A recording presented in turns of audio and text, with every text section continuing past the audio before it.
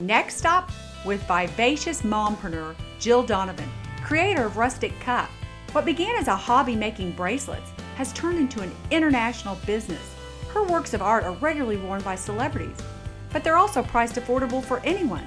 I absolutely love it when a fellow Oklahoman makes it big.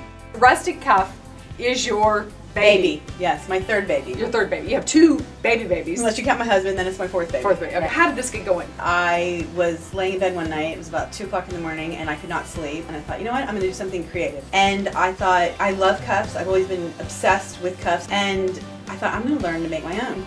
I got up and I got on YouTube, Google, Yahoo, and just started typing in how to make all kinds of cuffs. So then I took like $200 and I just bought supplies and I made um, my first cuff. I gave it to a girlfriend who worked at Saks and she called me like a week or two later and she said, Jill, I have like 20 some girls that want to buy this cuff.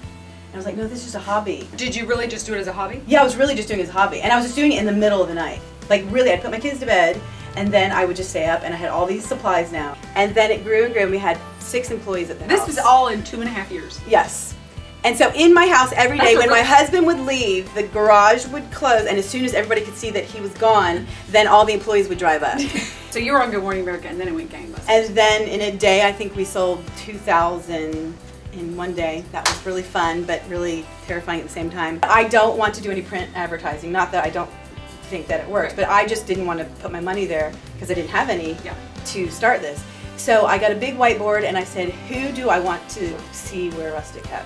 So I wrote down like 20 names of people that I would watch on TV. And then I researched everything about them and I made some custom cuffs just for them. This is Kathie Lee's. I'll just show you. Hers are a little different because she wears smaller things. That's just magical that you've created a place that you love and yeah. your kids love to come, your yeah. employees love to come. Right here at Oklahoma Girl Made Good. Awesome. I love that. Love that. I do. I still do take care of my kids. yeah. Yeah. I still bathe them and I feed them every now and then we, we do homework.